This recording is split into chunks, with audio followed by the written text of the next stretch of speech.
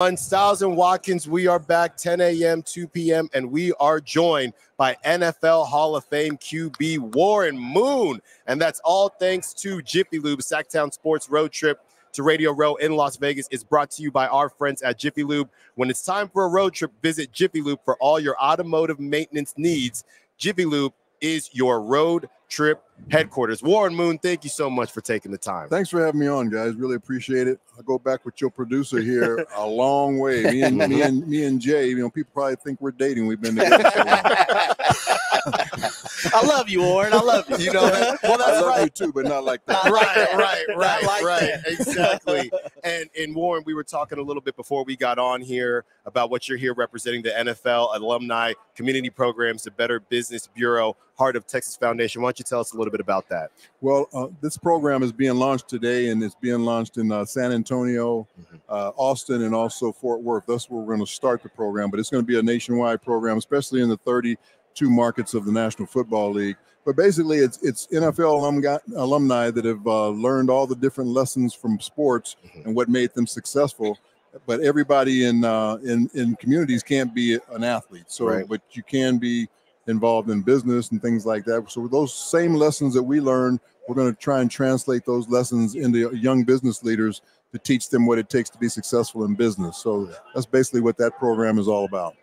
No, that's awesome. And I, I mean, I know it's it's just a huge part of of any athlete's post career is, is to kind of get into that kind of stuff. And you see, you know, Magic Johnson doing big things in the business world. Do you have any inspirations in terms of you know where you kind of picked up the the the charitable? I mean, of course, always being Yeah. charitable, but uh, you know where you really found uh, where you wanted to, what lanes you wanted to fill in your post career. You know, I think a lot of mine started just from my mom, the way she was giving in our community. You know, Yeah. she we didn't have a whole lot, but whatever she had, she offered to different people in Yeah. the neighborhood. Mhm. Um, the fact that I was uh, able to be successful and, and give back uh, because there was a lot of programs that gave to me when I was a young kid growing up, whether it was a vacation Bible school at my church, whether it was a boys club or Cub Scouts or Boy Scouts, uh, all the different sports I was involved in. All those things kept me on the straight and narrow and Right. kept me away from the gangs and all the different other stuff that was in the neighborhoods where I grew up. So now I'm at a point, or have been at a point, uh, where I could give back to some of those same kids who come out of those same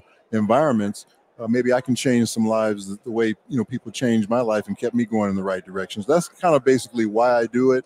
And as an NFL quarterback, you have an ability to Yeah. to, to motivate people and and and um, make change in people's lives. You either choose to not do anything about it, or you choose to do about it.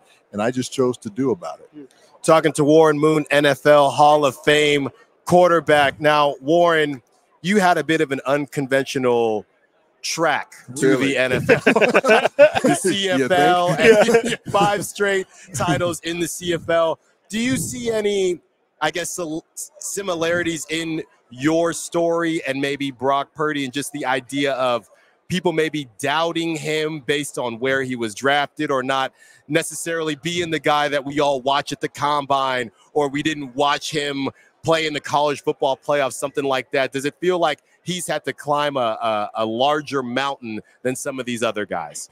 Well, I think our journey. Everybody has their own journey. His Mhm. journey was totally different than mine because, first of all, he was drafted. Right, right, and he was right. drafted in the seventh round. I had 12 rounds in our draft, and I wasn't drafted in any of those. Man, Uh, and a lot of it didn't have anything to do with me playing quarterback. Right. You know, yeah, so yeah, there's differences there, but I understand what you're talking about. You know, Brock is is having to live down the fact that he was Mr. Irrelevant, and Mhm. people think that because he wasn't drafted high, he shouldn't be as good, and because he he's being successful is because of all the people that are around him. Well, Tom Brady was a sixth round draft pick. Mhm. Uh, he he played pretty well too. yeah. And uh, when you win seven Super Bowls as a six round draft pick, what are they what are they saying about him? Does does Brock Purdy have to win, you know, six Super Bowls now to to, to all of a sudden be good enough to play in the league? I mean, the kid went to the uh, NFC Championship game last year. He Sure got did. hurt. Mhm. Who knows? He could have been in the Super Bowl last year, and now he's got his team in the Super Bowl in his second year. He's got a lot of gro- uh, growth ahead of him.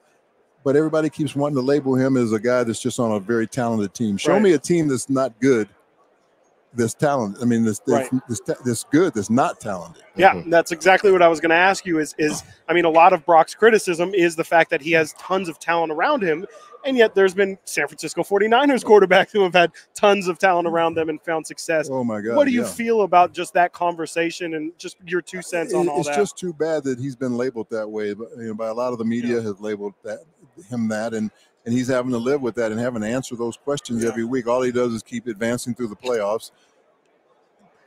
He won two of those playoff games for them with his legs and his arm. He Mm-hmm. had to bring them from behind first of all because their defense hasn't played that great Yeah. throughout the playoffs.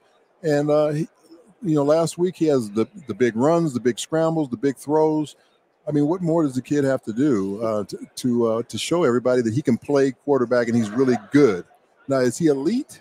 I don't know that yet. He- Mhm. He hasn't been in the league long enough. Right. But what makes an elite quarterback to me is guys who they take what the game plan is and they can run that game plan to perfection. But what happens when a play breaks down? What happens when a linebacker comes through un, unblocked? What happens when a defensive end comes off the edge and beats his guy?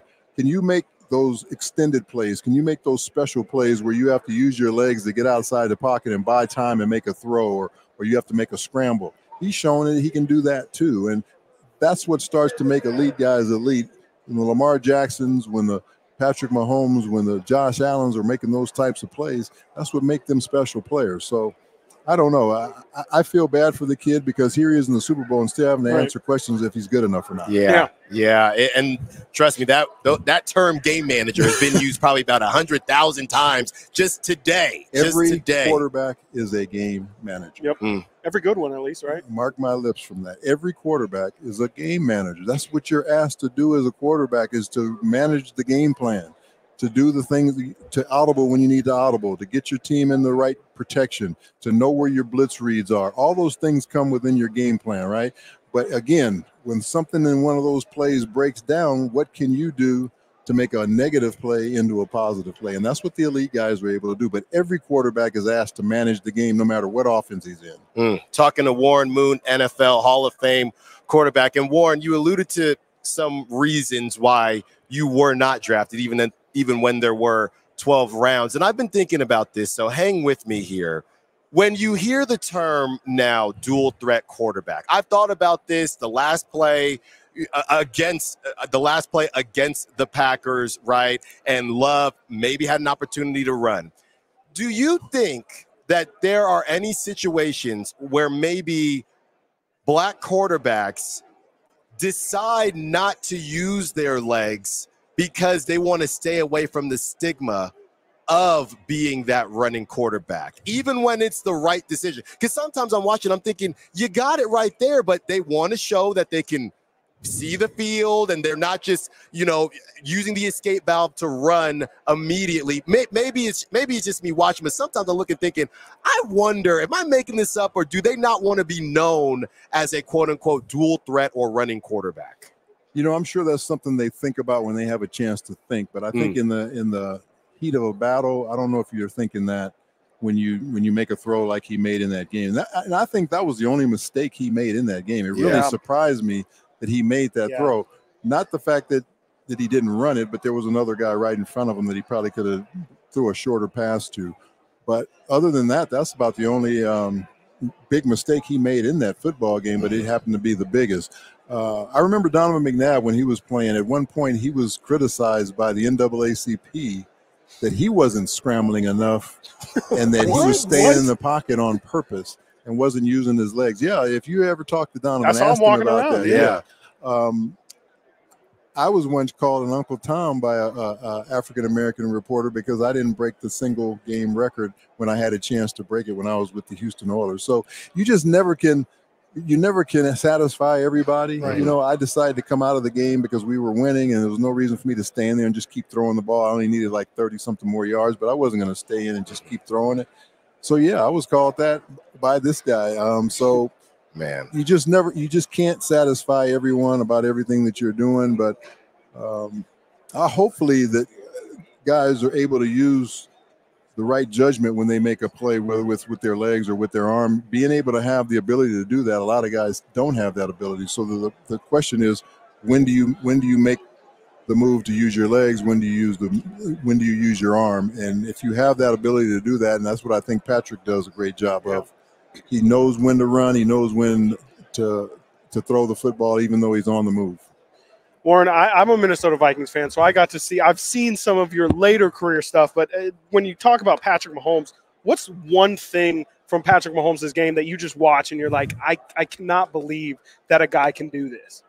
His his fearlessness. He's just Mm, he doesn't, interesting. He doesn't seem he fears Yeah. anything. You know, he really doesn't. Um, and I love that about his game. Uh, he'll take on anybody. He'll take a hit and throw the football. Like he took a big hit in the playoff game. Uh, uh, who was that against? The one where he scrambled all around. I think it was. I want to say it was against Baltimore, and, and he ended up throwing like a wounded duck pass, and and yes. and Yeah. Yes, Kelce yes, yes, yes. reached out and dove, and he took a tremendous shot Yeah. on that play. But he held the ball as long as he possibly Yeah. could until he finally got rid of it. And those are those fearless type plays that that I have really have a lot of respect for him for. Warren, I, I we you know we're sitting here and and making sure we do our, our research on every on everyone talking to Warren Moon, NFL Hall of Fame quarterback, and and I'm I'm double checking this thing. I know the Wi-Fi's been a little slow, but you played till you were 44. That's incredible. I know, That's incredible, and, and, I we're can talking. still sit here and talk about it. I can walk Right. away from here without limping. Yeah. yeah. You know, the good Lord has been really, really good to me. He blessed me um, with taking care of my health while I played. I had injuries, but nothing that was really major, no like ACLs or separated shoulders or anything like that. And then I took really good care of myself. I think that had a lot to do with it as well. And then I was smart about when I did run and when I did throw. Yeah. I, I learned very quickly when I came in the NFL after I got hit by a strong safety named Donnie Shell, who's in the Pro Football Hall of Fame. I'm like, I'm staying in the pocket from now on. I'm just going to dump the ball off to the rest of my guys. Right, right. All right, Warren, before we get you out of here, we need your pick. Do the Niners get number six, or does Patrick Mahomes cement the Chiefs as a dynasty? Well, you know, I played my last two years in Kansas City. Yeah. And uh, so I've got kind of Chief, a little bit of Chiefs blood still in my veins. Mhm. And I met Patrick when he was a uh, rookie coming in the league because we were represented Wow. by the same guy, Yeah. Leigh, Leigh Steinberg. So I know him. So I'm going with the Chiefs. And I, I think if the game is close, which I think it's going to be, he'll find a way to either make the play to win the game, or if he has the ball with three or four minutes left, he'll find a way to run the clock out. Yeah. Yeah. There you go. Warren Moon, thank you so much. NFL Hall of Fame QB, and thank you for everything you're doing with the NFL alumni Yes. community programs, Better Business Bureau, Heart of Texas Foundation. Thank you so much, Warren. We'll talk to you soon. Thanks for having me on, Appreciate you, guys. Really Thank you. appreciate it. All right. Enjoy your week. Same too. to you. Gotta be get- careful.